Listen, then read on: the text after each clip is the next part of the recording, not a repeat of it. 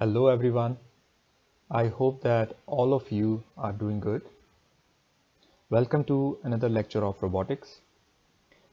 So in today's lecture, we shall learn about configuration space. You can also consult the book Modern Robotics for more details. The chapter number is 2.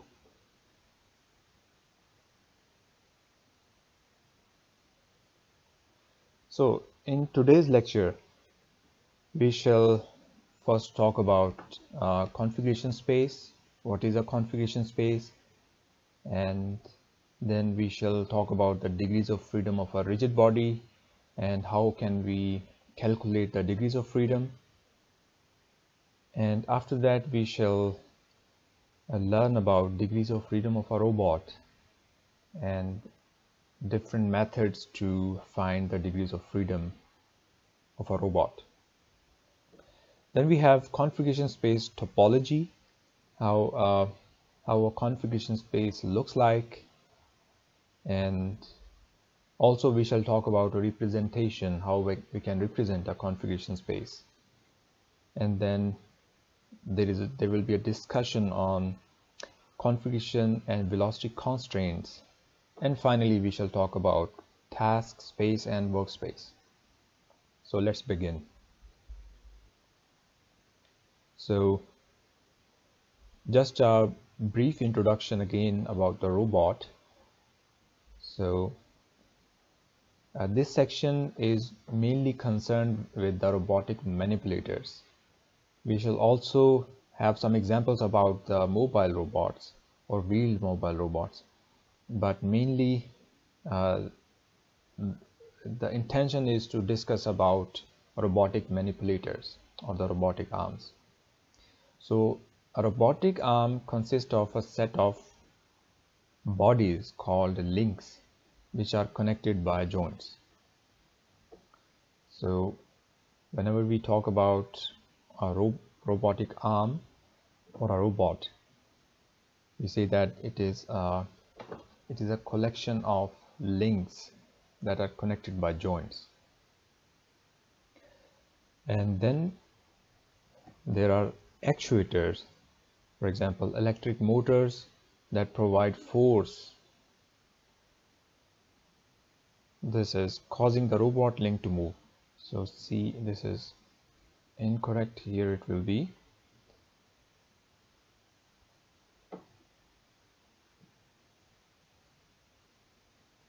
so I have corrected it.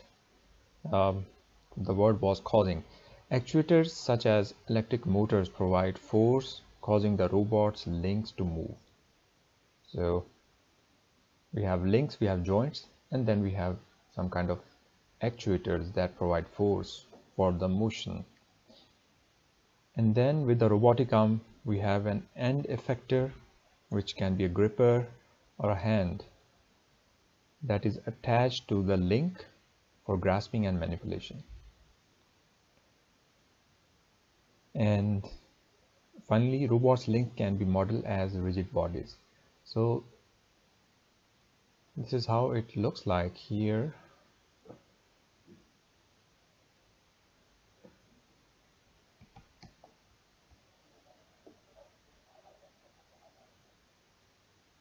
So a robotic manipulator there is a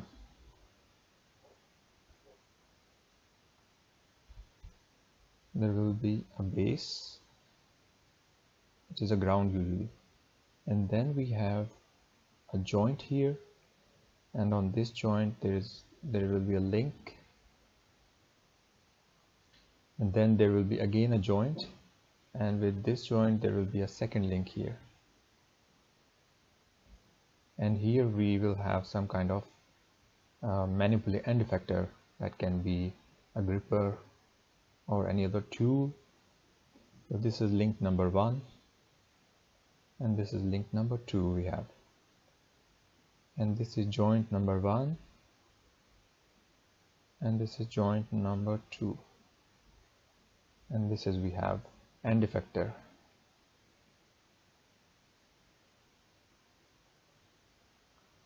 so we can model the links as rigid bodies. We can see okay this is the link one this is this is the one rigid body and then this is the link 2 then sorry this is the link 1 and this is link 2 they both are the rigid bodies. They can be modeled as rigid bodies.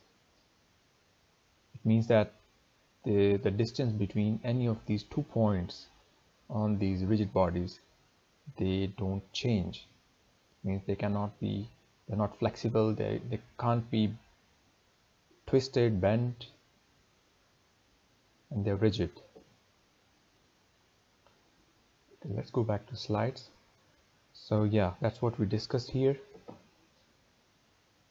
And now we shall learn about the configuration space. So what is a configuration space? A configuration space is a specification of all the positions or a specification of positions of all joints of the robot. So what we have when we have a robot you have to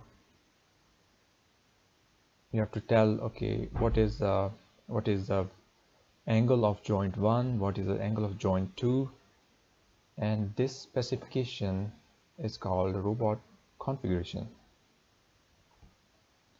for example we have this angle here theta 1 and then you have this angle here which is theta 2 so if you want to say what is the configuration of this robot the configuration will tell the value of this theta 1 and theta 2 okay? And for this uh, particular angles there there is a specific configuration for this robotic manipulator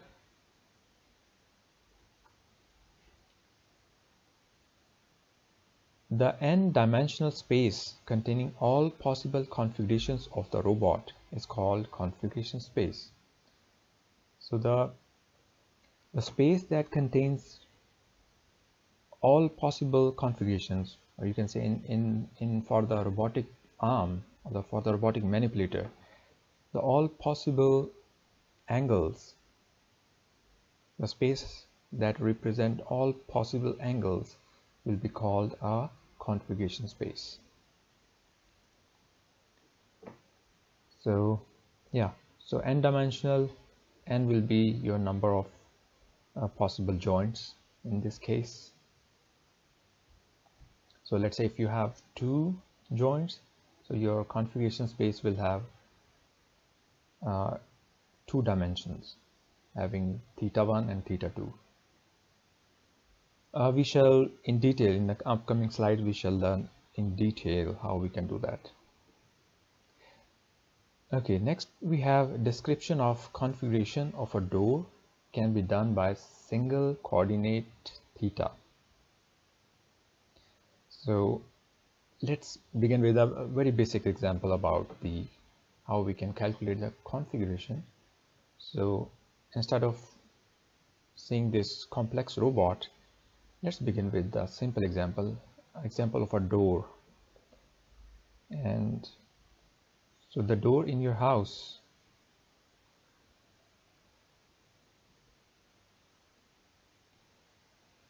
so this is a door. So here from here you can open it so how many motion it can have? It can only open and close. So it means it can rotate along uh, z-axis so we have x y z axis here. This is z-axis and this is x-axis this is y-axis so this robot can only rotate along z-axis and this angle will be can be represented by theta. So it means that the this robot can be represented by a single coordinate theta and this will be its configuration. So a point in the plane can be represented by two coordinates x and y. So when we have when we look about a point in a plane so this is a plane a 2d plane.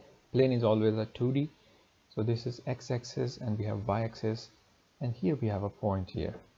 So its configuration can be uh, can be represented by x and y coordinates. So this will be its configuration.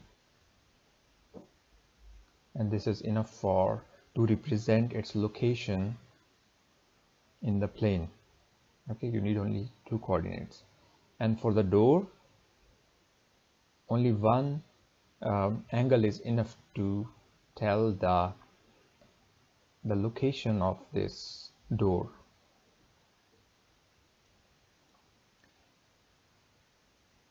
So that's what if you remember that's what we here we have in the first line we, we studied here that it is a specification of the position.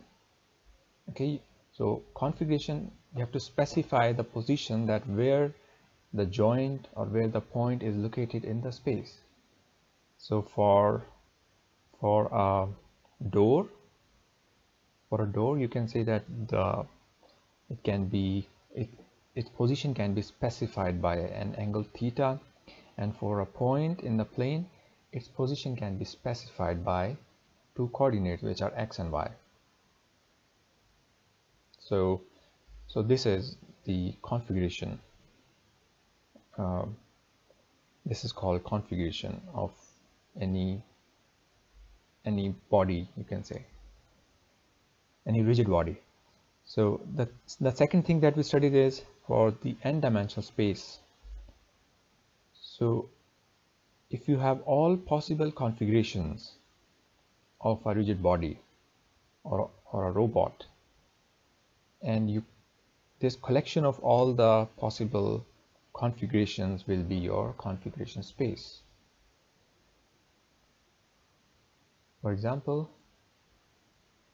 in case of this door your configuration space will be all possible values of your theta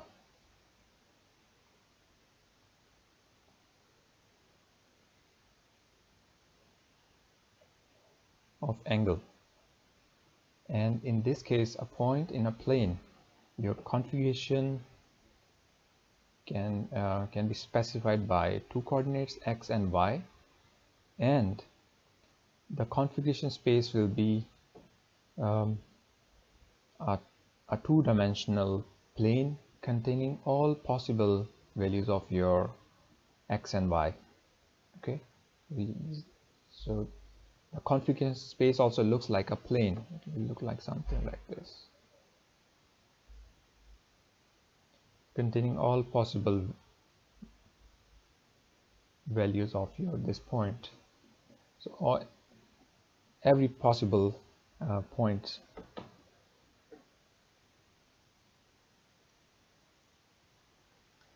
okay. So yeah and the third thing is a coin laying on table can be described by three coordinates x, y and theta. So let's see.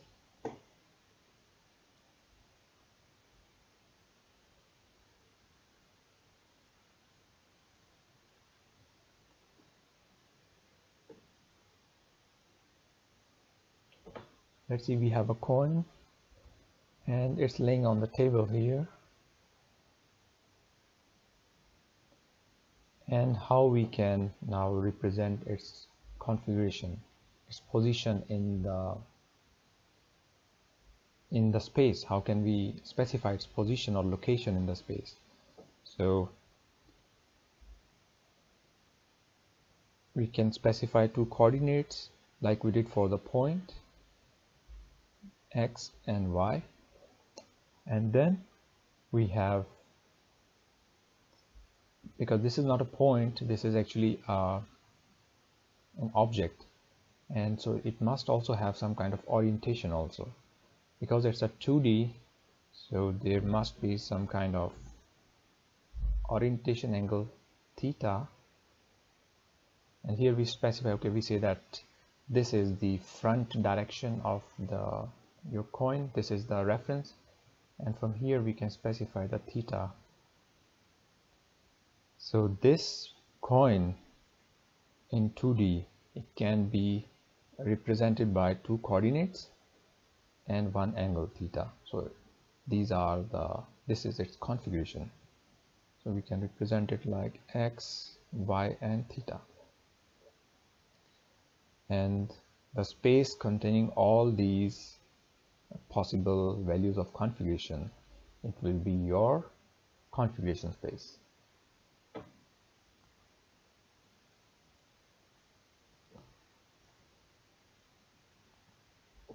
okay now we have uh, we are familiar with the concept of configuration configuration space. Um, so now it's time to learn about degrees of freedom. So what is the degrees of freedom? The minimum number of real valued coordinates needed to represent the configuration is a number of degrees of freedom so real value is important here. We need some uh, some real value number. It should be some kind of continuous numbers okay? And so that it means the coordinates should be real and also they they must have some uh, continuous values. Should be real numbers.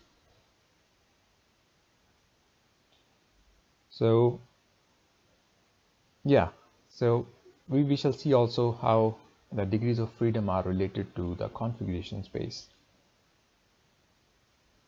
The number of degrees of freedom of a robot is the smallest number of real value coordinates needed to represent its configuration.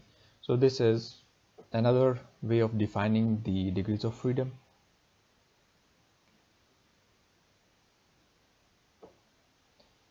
A door has one degree of freedom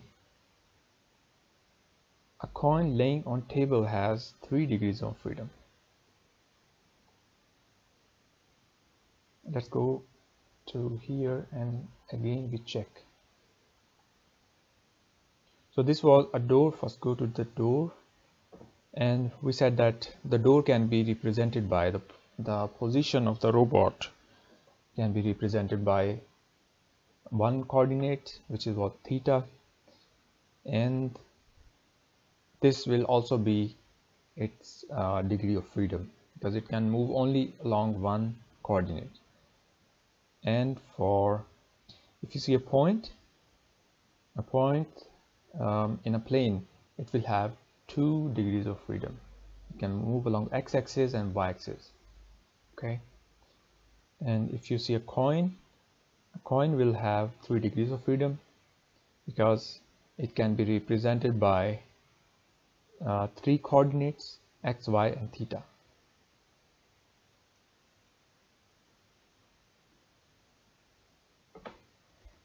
Yeah, so here we can write have one degree of freedom which is theta.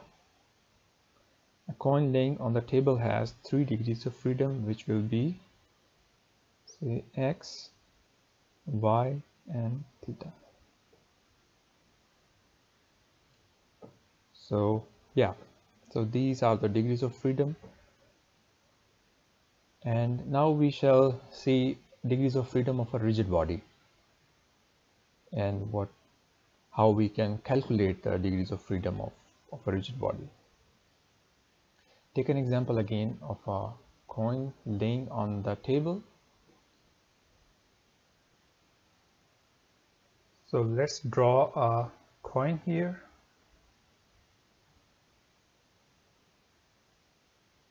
and attach a reference coordinate which is a 2D so this is the x coordinate and this is the y coordinate we have. And we take a point on this coin and we call it point A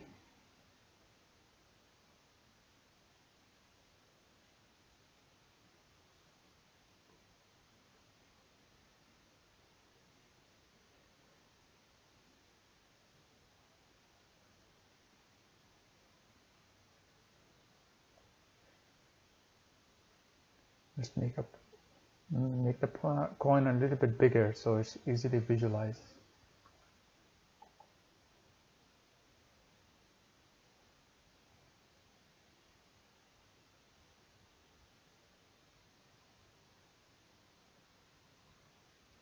Okay so so here we have point A. So notice that for this point A how many degrees of freedom have this point A? So we have already studied that for a point on a, in a plane we can describe it using two coordinates. So its configuration space will be 2 and also degrees of freedom will be 2 because this point is free you can put it anywhere in on this plane. And similarly your coin will also move along along this point. So now we have two degrees of freedom for A but once we have chosen the point A now let's take another point which is at a distance at a fixed distance from point A and we name this point as point B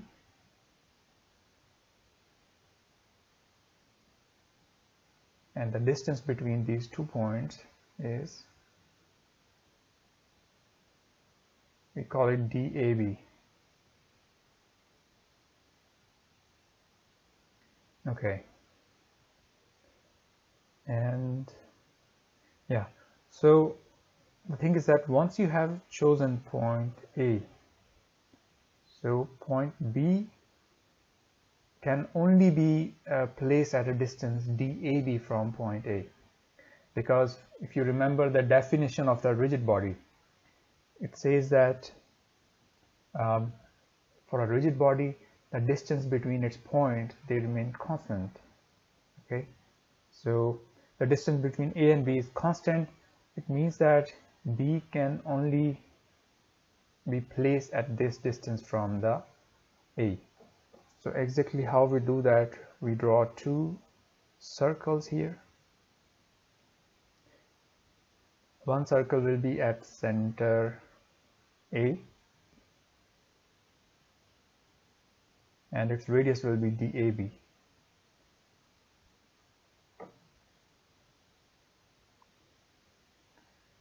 so we draw this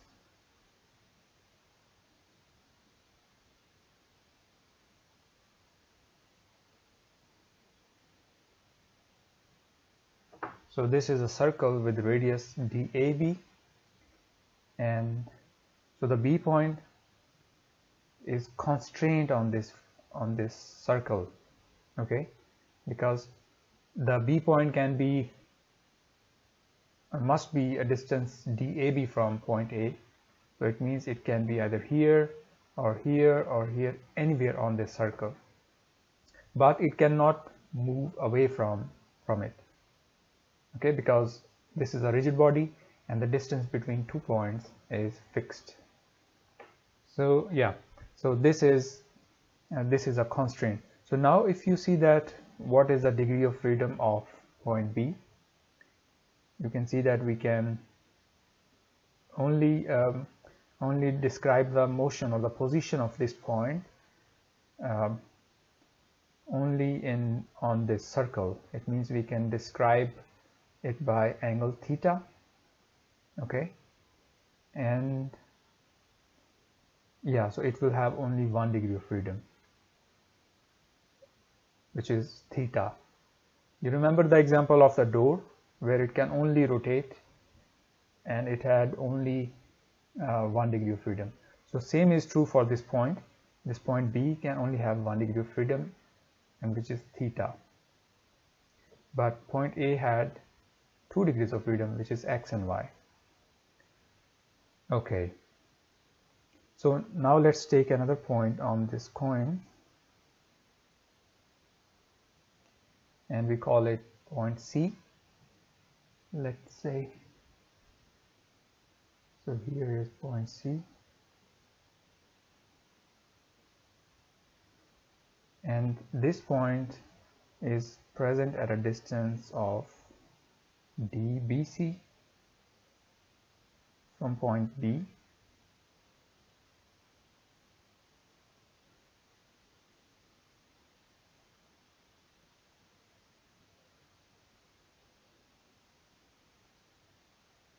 and at a distance of DAC from point A.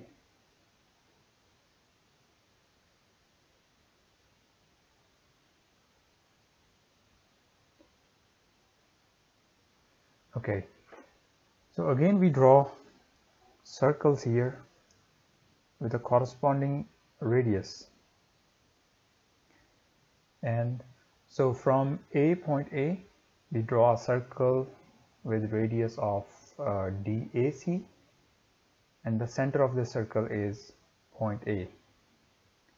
So let's draw this one here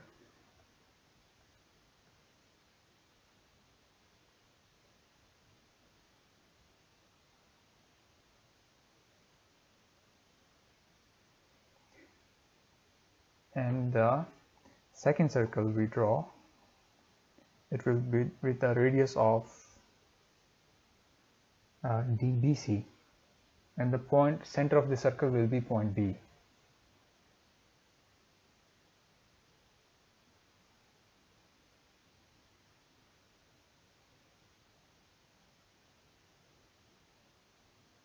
okay it doesn't look like circle but imagine that it's a circle so you see that where these two circles uh, cross each other. So this point is C and here also at this point also they cross each other. So notice that the distance of point C from B is fixed. Okay,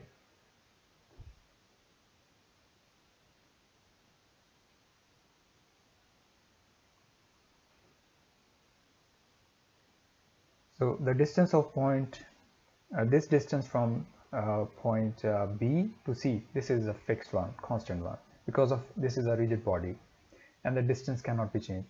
And same is true, the distance DAC is also constant.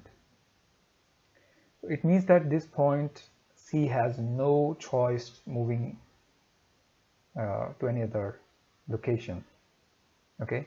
Because if you change its location, then this distance will change dAc or either dBc which is not true. It, because this is a rigid body the coin is a rigid body it means that this distance dBc and dAc should be constant. So if these two both of these distance are constant it means point C cannot move. It can only have either this location or it can have here this location at where these again these two green and uh, uh, purple circles they intersect with each other. So if you consider this uh, this location here so it means that uh, coin has uh, one side on the top and if you consider point C here at this location it means the coin is inverted on the table okay? The top is on the on the bottom side. So yeah so if we consider here this point C it means uh, this point has no degrees of freedom okay? It's uh, it's just fixed.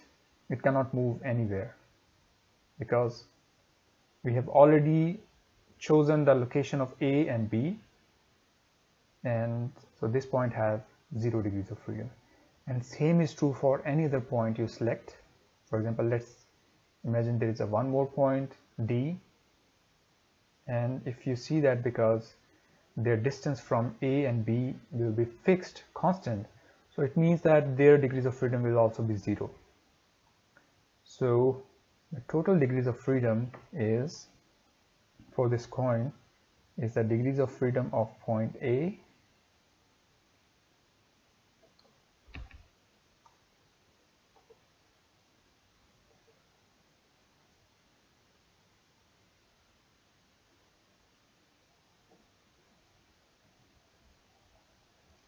so first let's see how we can calculate this distance. So distance of between point A and B is equal to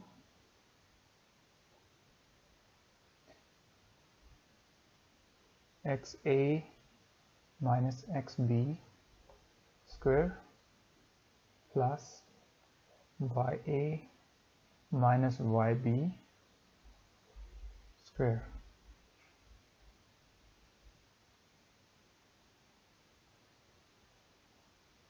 Which is DAB and this is constant okay? And similarly we can calculate the distance of the distance between point B and C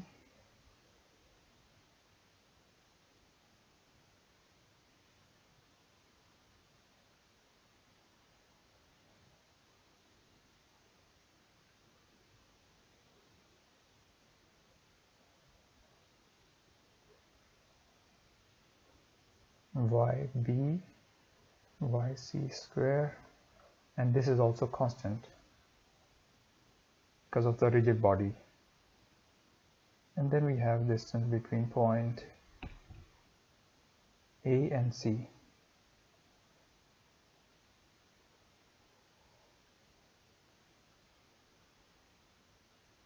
Xa minus xc square plus y of A minus y of c square and d AC. This is also constant.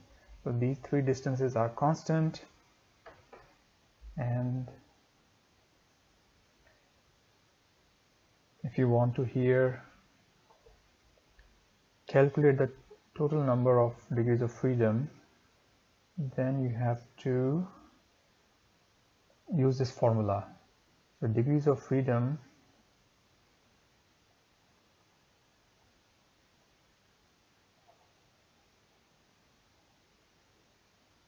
is equal to we have sum of freedoms of points.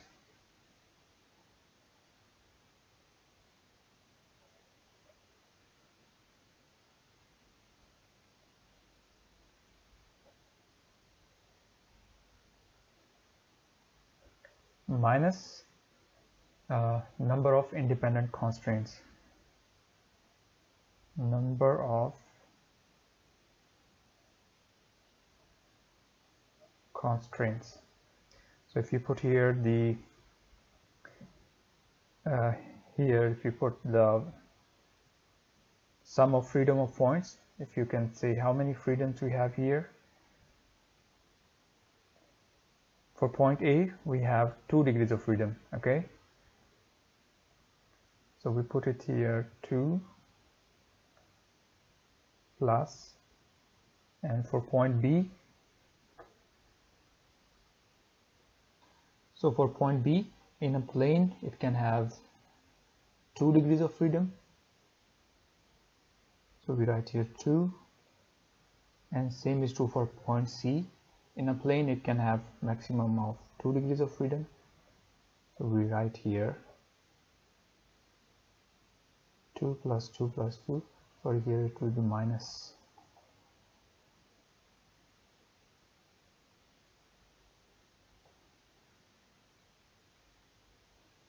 then we write number of constraints. So point A it has no constraints okay? So we write here 0 and then we add here plus. And point B it has one constraint. So which is the DAB because the distance is constant it's fixed so this is a constraint okay? This one here this is 4 point B. So total uh, number of degrees of freedom were 2 and we have one constraint. So if we minus from here we get only one. And then for point C we have two constraints which is the BC here and the second constraint is the AC so it has so we write here 2 here. So if we add them 6 minus 3 is equal to it means it has this coin will have 3 degrees of freedom. And these degrees of freedom can be represented as x y and theta so xy comes from the uh, degrees of freedom of point A. Theta comes from from the from the angle on this circle angle made by point B on this circle red circle okay? And then point C offers no degree of freedom. So this is how you calculate the degrees of freedom of a rigid body uh, there is an also alternative method also. For example you can calculate the degrees of freedom for individual points and then add them. For example use this formula here. Uh, that we have used here. Okay wait.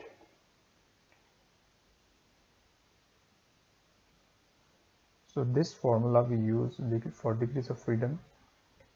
We use this formula and then we try to calculate the degrees of freedom of individual points. Let's say for point A it has how many uh, degrees of freedom? 2 how many constraints it have? 0 so we apply here sum of freedoms is 2 and number of constraint is 0 so point A has 2 degrees of freedom. Okay? And then for point B we see that it has total degrees of freedom is uh, we have how many? One. One degree of freedom uh, no it, it will have normally in a plane it will have two degrees of freedom and then we have one constraint here. So 2 minus 1 is 1 so this will have a 1 degree of freedom. And for point C it will have 2 degrees of freedom and also it will have two constraints so they will be cancelled so it will have a 0 degrees of freedom. So this is how we can also calculate the degrees of freedom of individual points or you can calculate the degrees of freedom of the whole rigid body. So and here one more thing I think I should mention the angle theta which is maybe confusing. Angle theta will be this angle here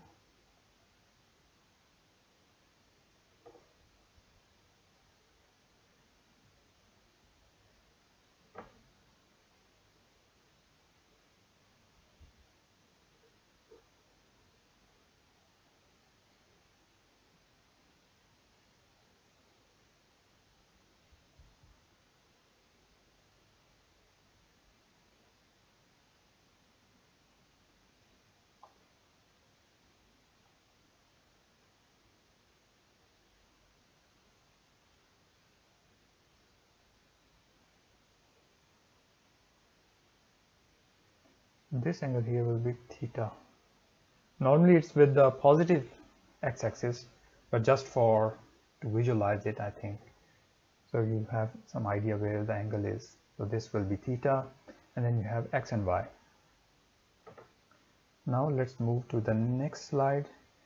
And degrees of freedom of a rigid body but in this case we consider that our coin is not now not in the 2D plane instead it is in a 3D plane. So previously we, we considered that the, the coin was on the table and we, we took it as a 2D plane. And but now we say that okay the point is located in a 3D space here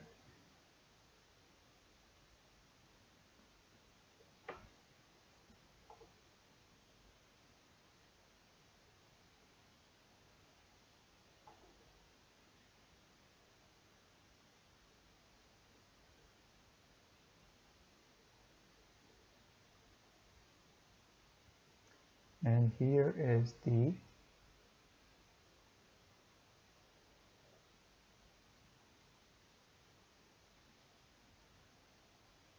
x, y and z coordinates. And here we have x coordinate this is the y coordinate and this is we have the z coordinate.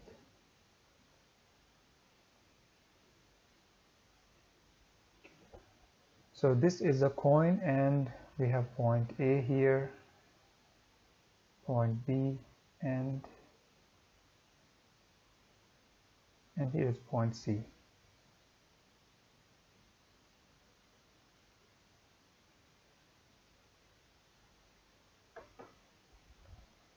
okay now if we again this is a rigid body it means the distance between a and b and b and c and a and c they are constant so point a can be uh, point a has a coordinates which can be represented by xa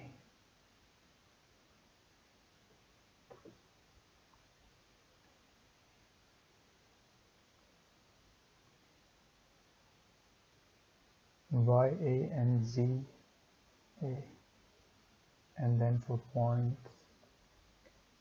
for point b we have coordinates of x of b y of b and z of b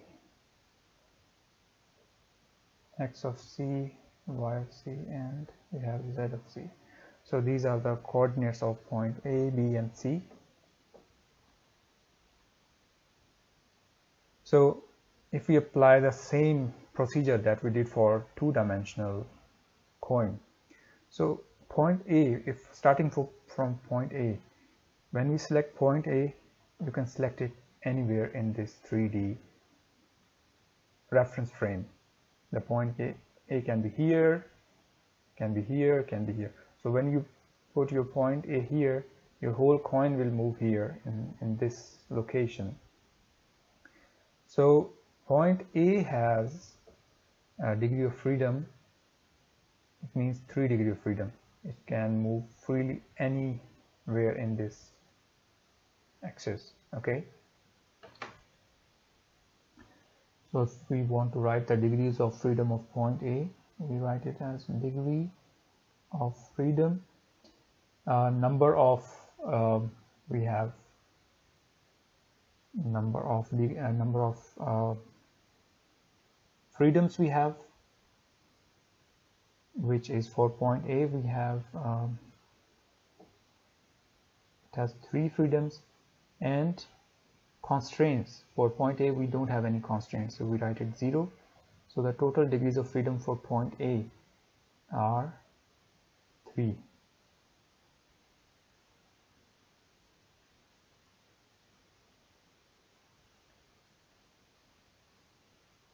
so let's write it like this. Point A degrees of freedom. So these are number of freedoms and th these are the constraints. And now we consider for point B. Point B has once you select point A then you have to select point B at a distance which is DAB and this distance is constant okay? Since this is a three-dimensional space so here this point B can be placed anywhere on a sphere like a ball surface having a center A. Okay if you remember for for the two-dimensional planar coin there was a circle okay? So this red circle we can place our point B at any position or at this circle at a distance DAB okay? Uh, but when you look for a 3D so here this time we have we instead of having a circle we have a sphere. Sphere means it's like a ball or you can consider it as a balloon okay? So I cannot draw it here because it's a 3D but it should look something like a sphere. So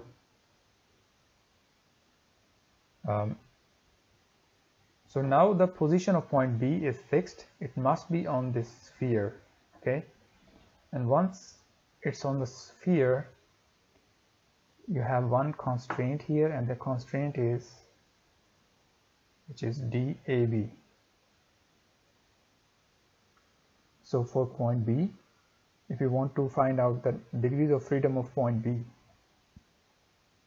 so total freedoms how many freedoms it can have in a 3d it can have three degrees of freedom okay?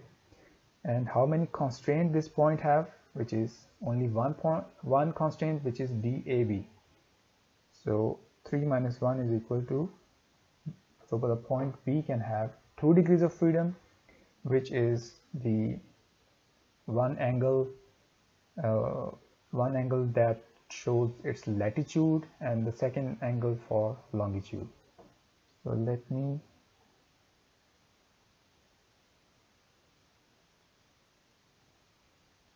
for example how can you define the position of point on a sphere? Imagine the example of earth. So we have a sphere. Let's say it's a it's our earth surface okay? So how you define the the the location of on on your earth surface like what you do with your GPS so you have some latitude and longitudinal lines here and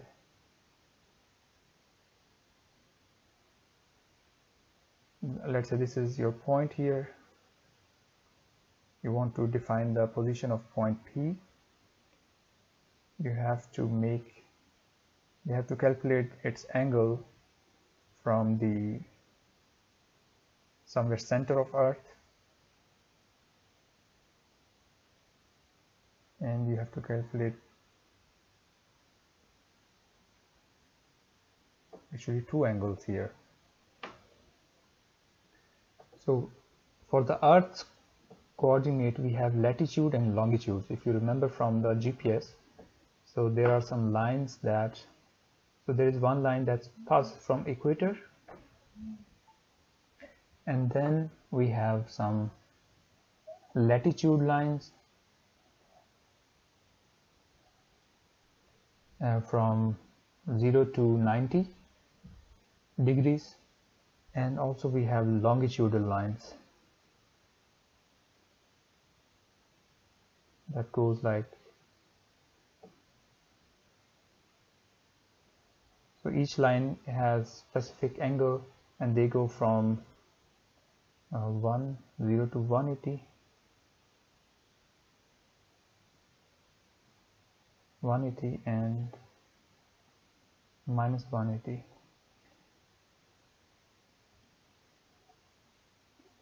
so each line has a specific angle. For example 0 and then we have uh, 30 degrees. Or okay let me change the color.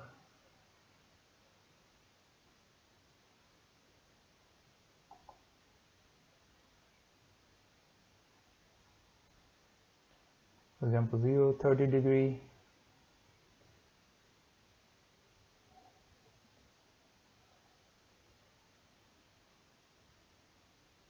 minus 30 degree something like this.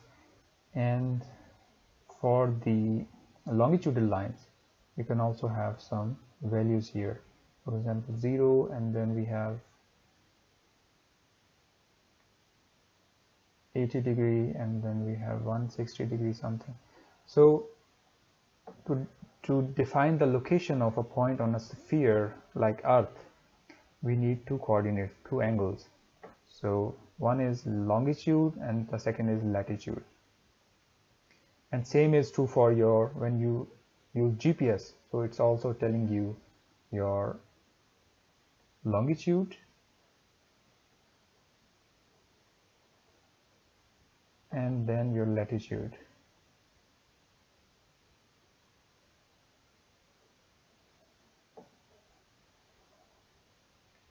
So it means that we have for a sphere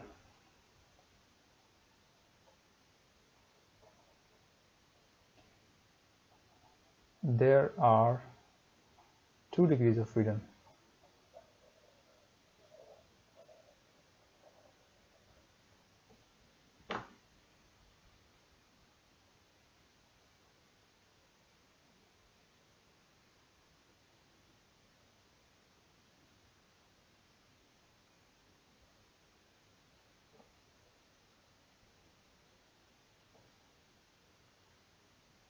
Okay, so yeah, so we said that okay, the point B can be at any point on this sphere, and it's it can have uh, it can be represented by two angles, latitude and longitude. So and so thus it will have two degrees of freedom. and it will have one constraint here so yeah similarly for point C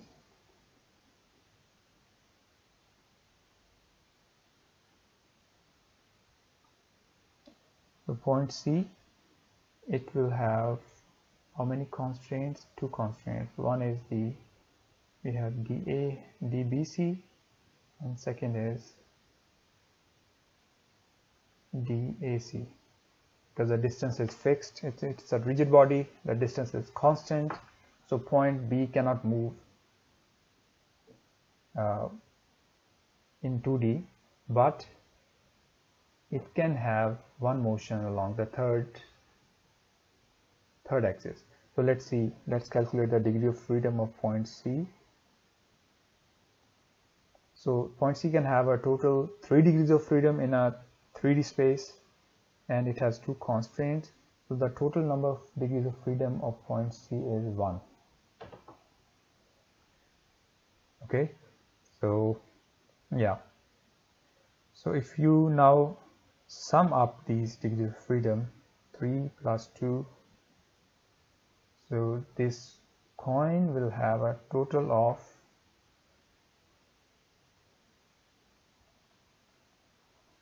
total degrees of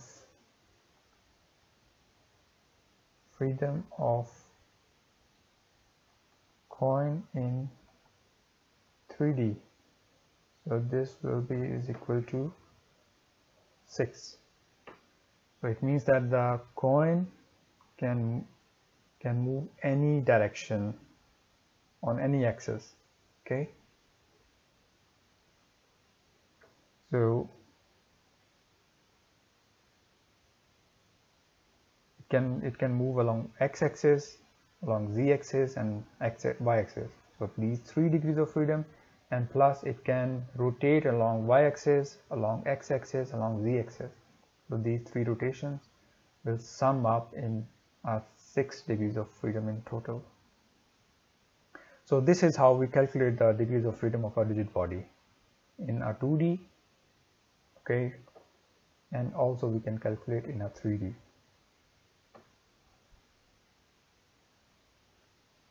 so a revolute joint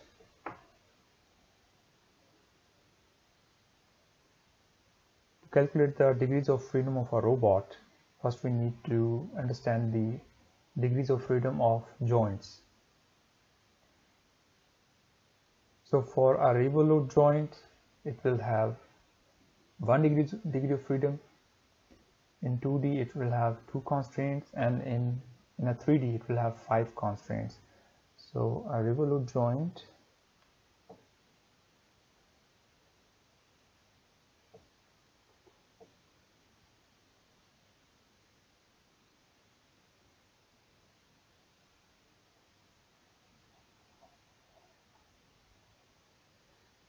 so it will have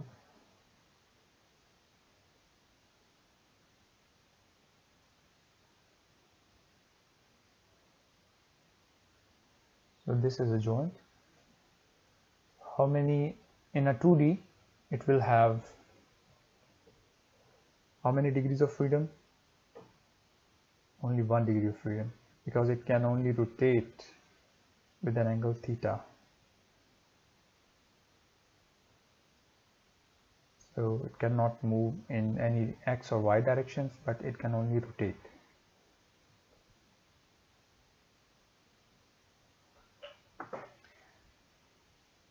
okay for prismatic joint.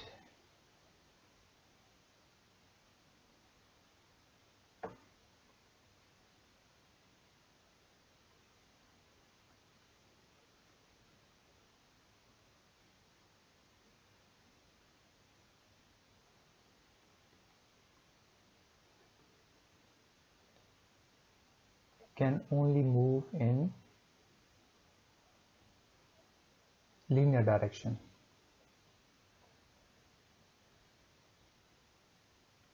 So along any axis let's say along x-axis or either y-axis so the movement along other axis it's limited and also the rotation is also limited. So it will have also one degree of freedom and in in uh, 2d it will have two constraints which is one angle and one axis one coordinate. In 3d coordinate system it will have five constraints. So all rotations will be constrained and two of the linear motion along y and z axis will be also constrained. So only one degree of freedom here. And similarly we have for helical joint uh, we have uh, one degree of freedom.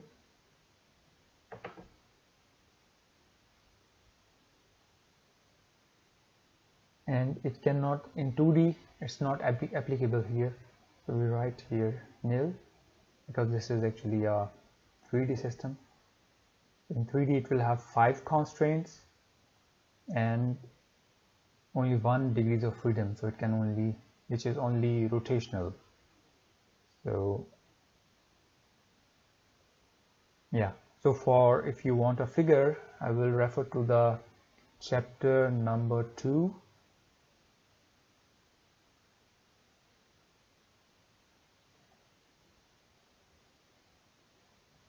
And the book name is Modern Robotics.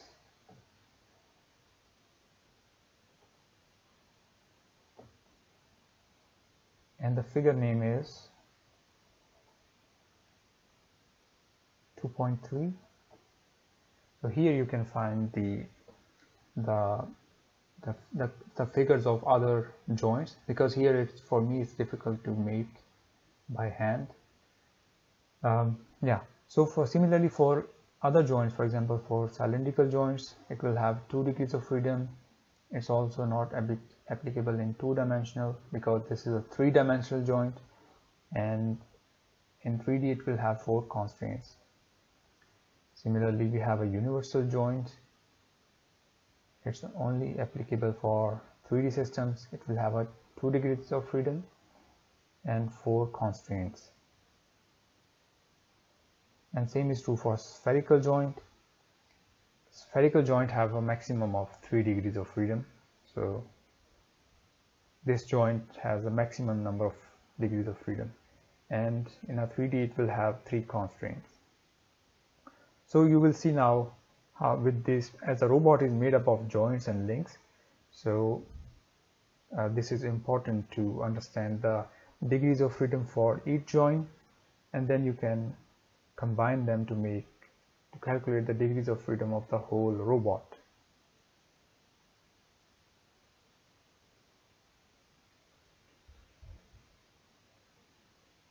Okay, now we shall calculate the degrees of freedom of a robot. And you can use this Grubler's formula to calculate the degrees of freedom of a robot. So this is actually Grubler's formula. So this formula is used to calculate the degrees of freedom of a robot.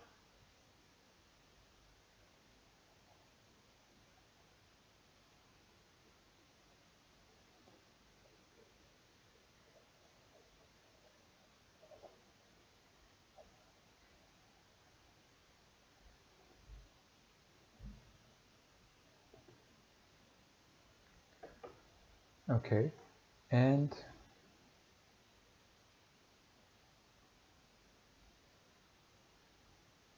this formula can be written as the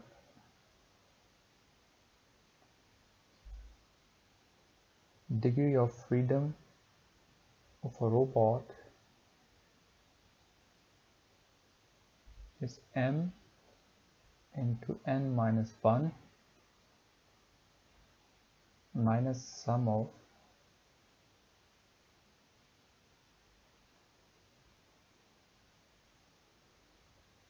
all the constraints we have.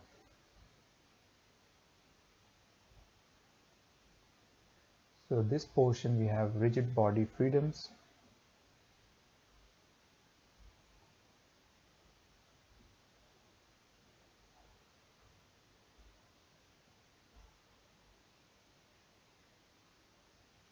and here we have joint constraints.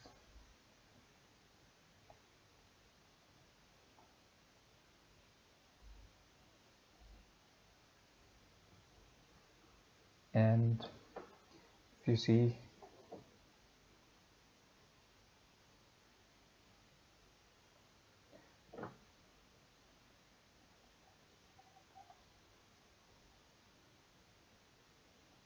so what is m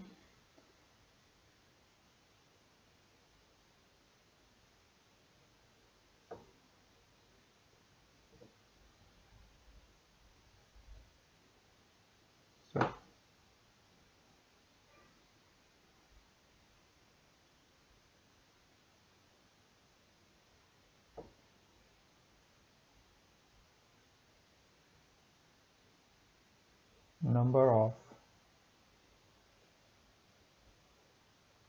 freedoms of rigid body.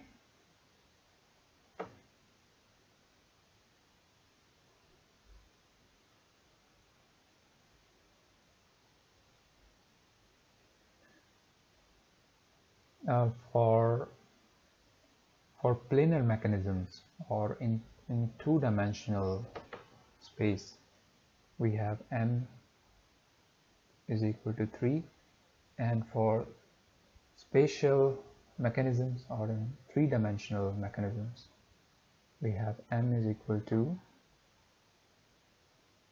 6 for planar. And this is for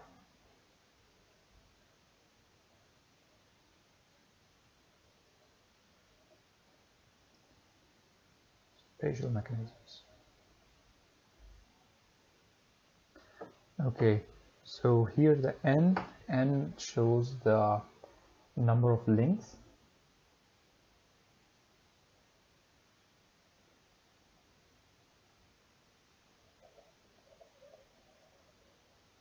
J is number of joints.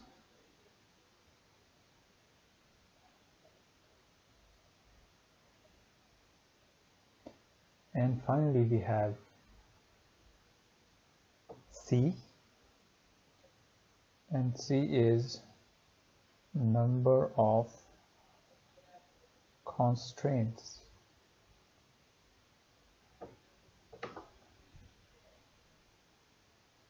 So this is how we can calculate the degrees of freedom of a robot. If we know the number of freedoms of a rigid body whether it's a two-dimensional space or a three-dimensional space and then we know the number of links we have in a robot and then number of joints and then the constraints we can have.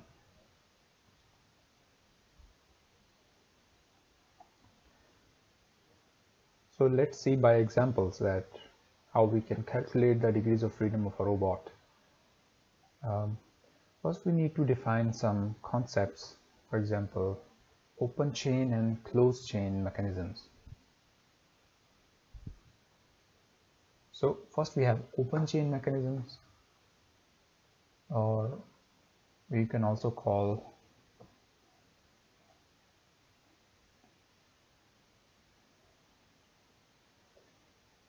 open chain mechanisms.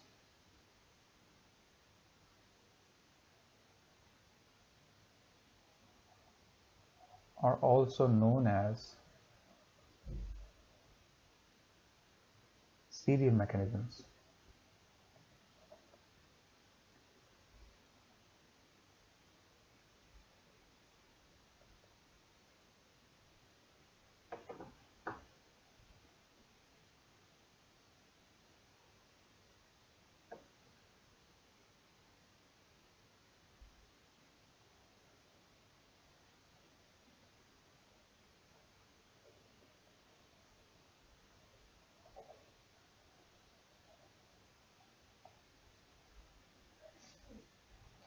this is first type. And then we have second type. Okay um, so this open chain mechanisms.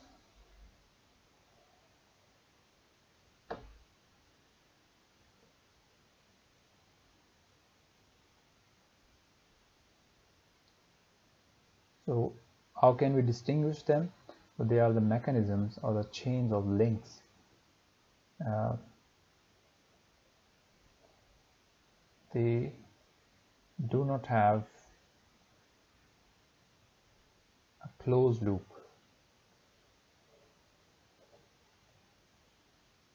For example you can take an example as uh,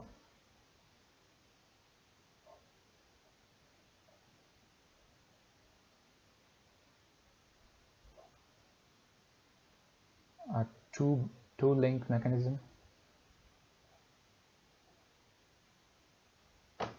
this is link number one L1 and this is link number two here. And it has two joints. And there is no closed loops. You see this is an open uh, that's why it's called open chain because it is fixed to the ground. And then there is a joint one here and then there is a link one. And then we have a joint 2 which is a revolute joint and then we have a link 2 and yeah and here it's open. The link 2 end is open. It is not connected or fixed to another thing. Or there is also no loop that comes back to the joint or the link one. Okay? So that's why they are called open link mechanisms. And then we have a second type of mechanisms. We call them closed chain mechanism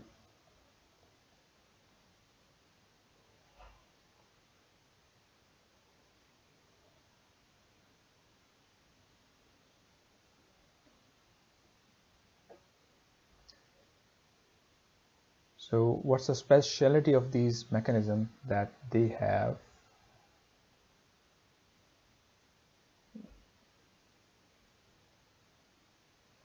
one or more closed loops. For example,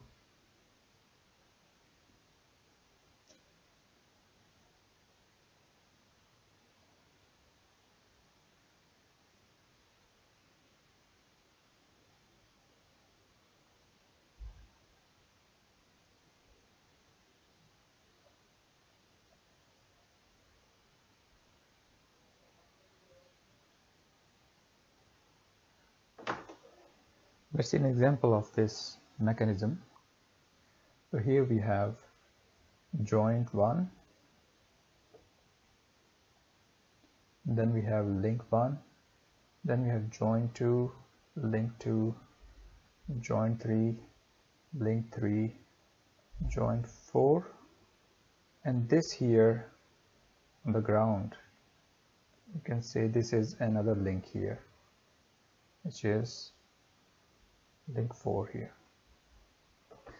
So you see that these uh, it forms a closed loop starting from joint 1 link 1 and then link 2 link 3 and then finally link 4 connects the back to the where it started. This link started at joint 1 and the link 4 connects it back. So this is a loop so the loop is from where it started, it comes back at the same location. So that's why it's called closed chain uh, mechanism because they have loops, closed loops. So this is the difference between open chain and closed chain mechanisms. So now we shall see an example that how can we calculate the degrees of freedom of these kinds of robots having these mechanisms. Okay, let's start with example. This in in the book, chapter two. This example is 2.3. So it says that we have a four bar linkage. So this is a four bar linkage here.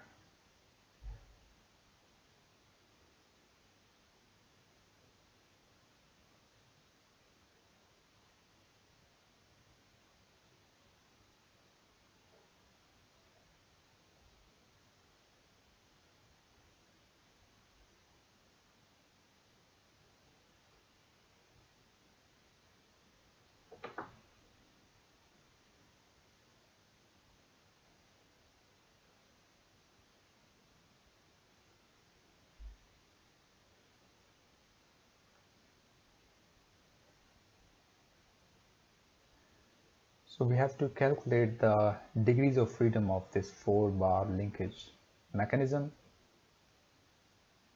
So how can we do that? We can use this Grubler's formula. If you remember from the previous slide, what we need here is M, N, and C here. Actually, we can also simplify it further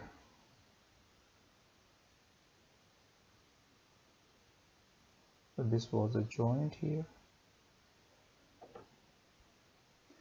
Uh, we can also further simplify this uh, formula. And this final form will be like this.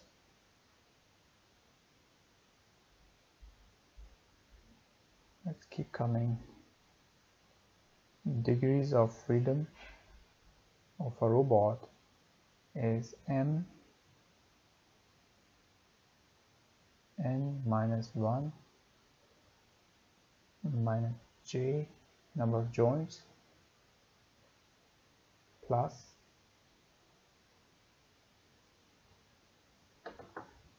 sum of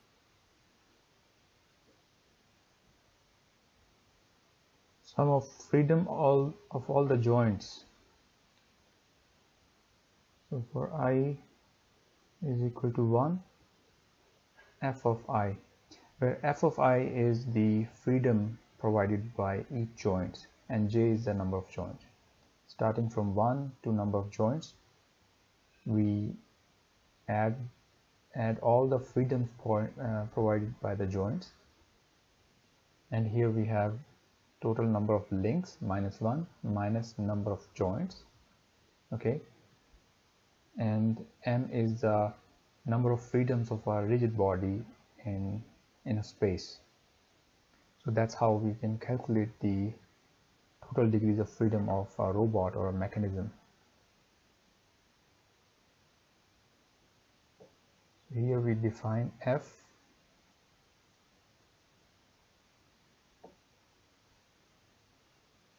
We have defined c where f is the freedom of joints. So we should use this formula here, this uh, final form of this uh, Grubler's formula to calculate the degrees of freedom of this uh, four, four bar closed mechanism.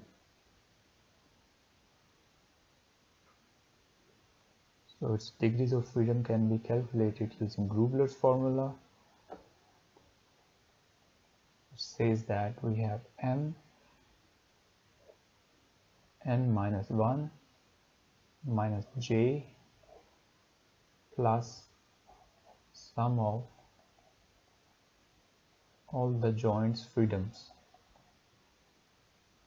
okay here if you put here we how many links we have so first this is a two-dimensional uh, mechanism. In 2d we learned that the value of m is equal to 3 okay? So we put here 3 and then how many number of joints we have? Uh, sorry number of links. This is the first one this is second third and we also consider this ground also and this will be our fourth link. So number of links we have 4 minus 1 minus the number of joints this is the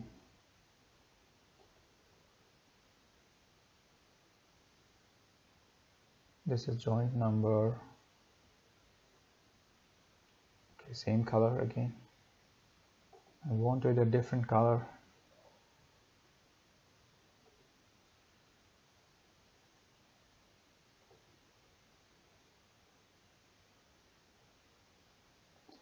so this is joint number one two three and four.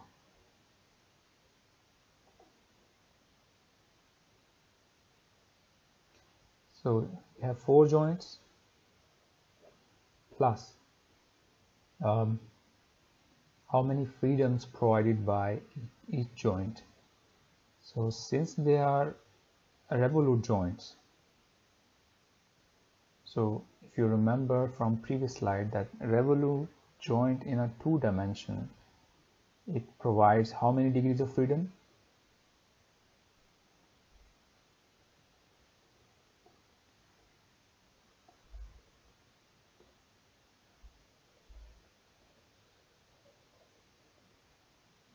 It provides only one one degree of freedom which is actually theta angle okay? So we have how many joints we have? Four. The degree of freedom provided by each joint is one. So there will be total of four freedoms. So now let's solve this one.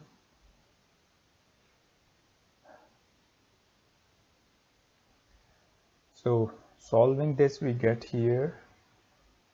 Um, 4 minus 4 0 then we have minus 1 and minus 3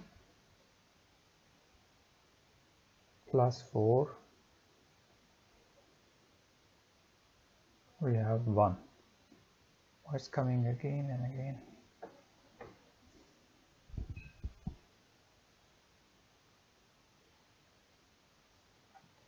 So this means that this four bar linkage, this mechanism has one degree of freedom. Okay, and this is a closed loop mechanism.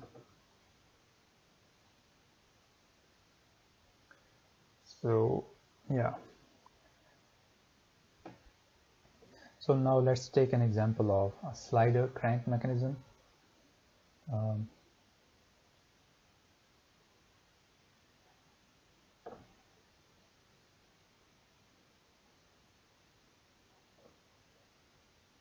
okay we need to select pointer? Okay.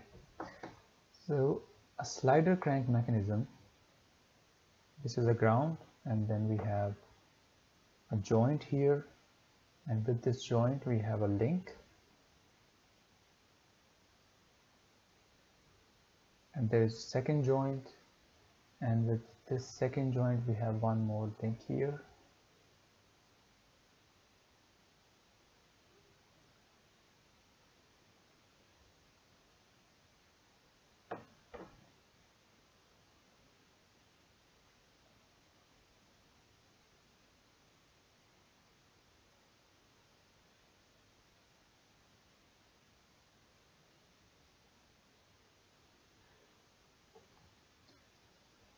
and then we have a third link here.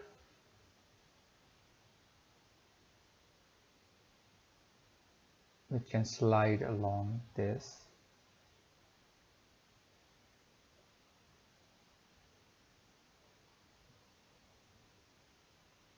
Along along linear axis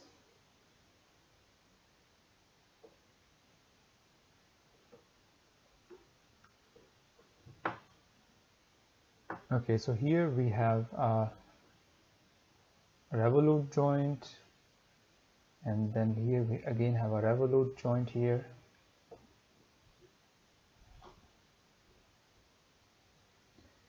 And then we have a revolute joint here which can rotate. And also we have a prismatic joint that can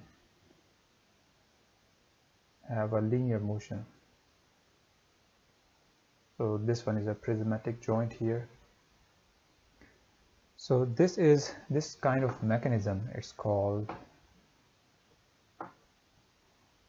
slider crank mechanism. And this is an example of closed loop chain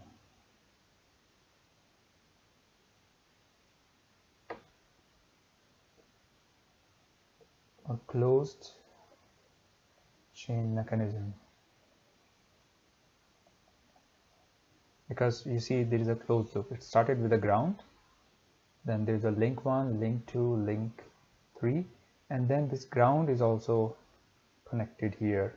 So this is link 4 L1 L2 and then we have L3 and here is L4 and how many joints we have uh, theta 1 joint 1 theta 2 which is a revolute joint. And then we have theta 3 here which is again a revolute joint. And then we have here the x which is a prismatic joints so revolute joints we have.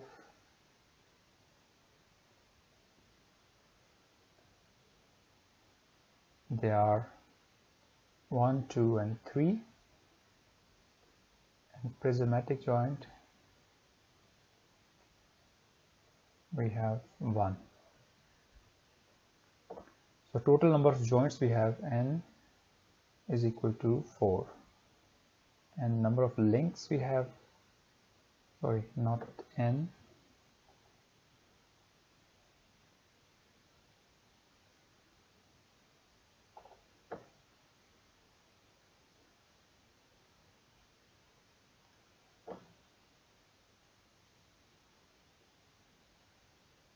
so total number of joints j is equal to 4 number of links are also 4 yeah and this is a 2d planar mechanism. Two dimensional or you can say planar so yeah so how we can calculate the degrees of freedom?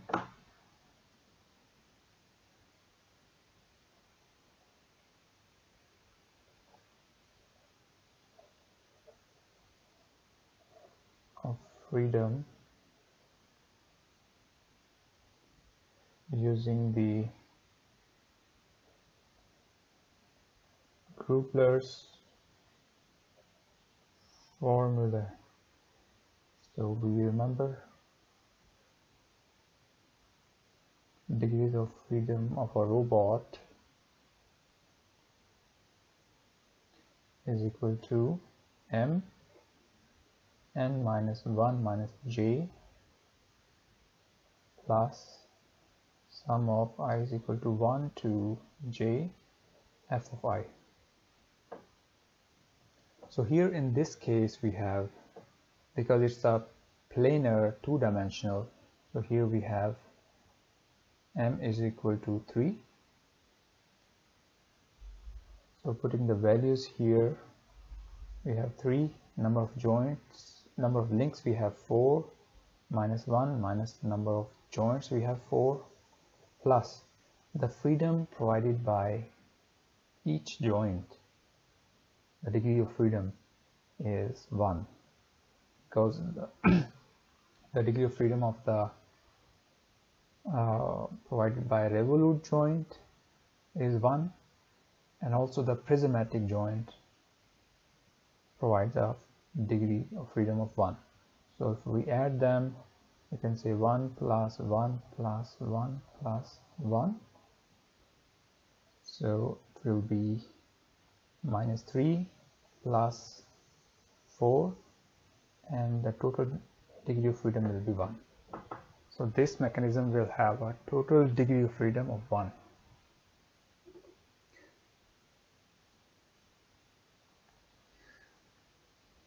okay so let's take one more example.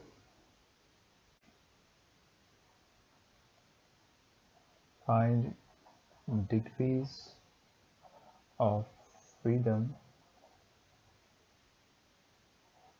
of an open chain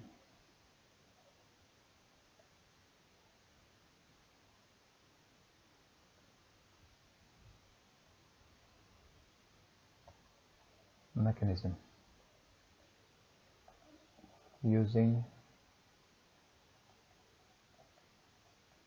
Grubler's formula.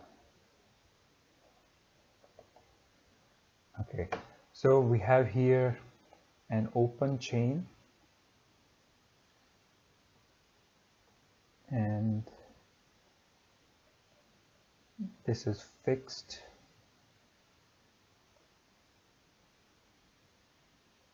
And then we have a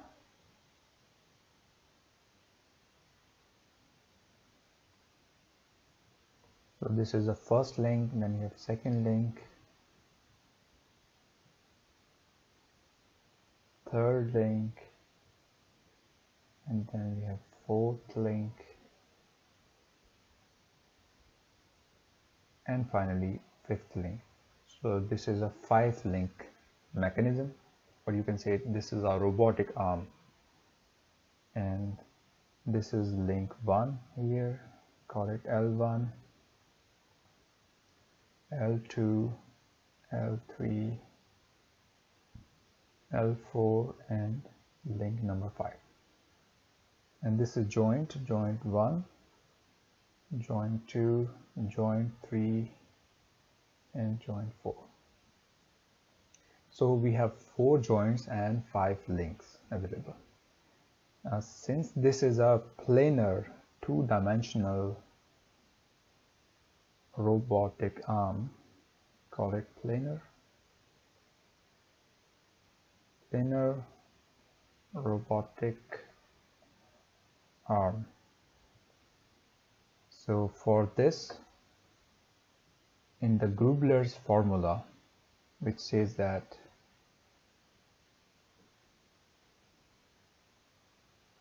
degree of freedom is equal to m into n minus 1 minus joints plus sum of joints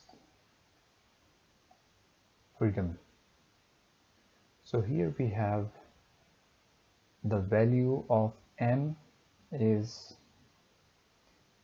for planar robot the value is 3 number of links we have 5 and then we have number of joints. They all are revolute joints so each revolute joint has so we have four four of them. We write down here four plus. And here freedom of each joint. So we have four revolute joints and each has a degree of freedom of 1 so we write down here 1 plus 1 plus 1 and 1 so 5 minus 5 so this term will become 0 and here it will be 4 so the total number of degrees of freedom will be 4 so you can say that for an open chain or a serial mechanism, um, the number of degrees of freedom is equal to number of joints, revolute joints especially.